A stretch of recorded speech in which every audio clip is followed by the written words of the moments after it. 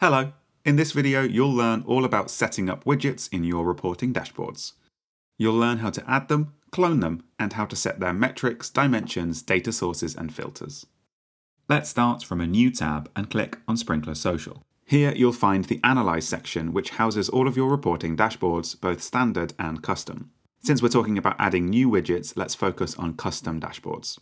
By clicking Reporting here, you'll be taken to a list of your existing custom dashboards, where you'll be able to create a new dashboard in the top right hand corner, or open an existing one like this. From here, click Add Widget, and you'll be able to either choose a widget from the library or create a custom one by filling in the fields on the left hand side.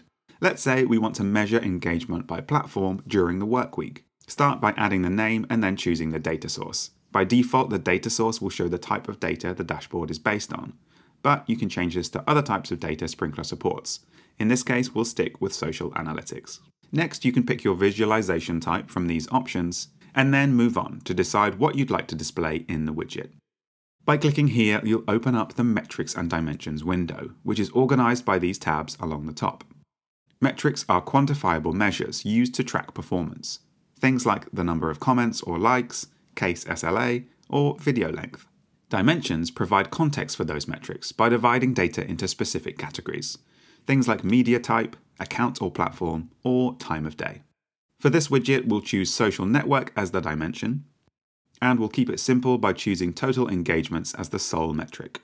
Further down the page, you can apply filters to this widget to customize the view even further. Here, we want to choose day of the week, containing, and then just select the days. You can always add more filters, but for now let's add the widget to the dashboard, and you'll see it appear at the bottom of the page. Now to finish, let's say you've built a particularly useful widget that you want to copy into another dashboard, but you don't want to repeat that process.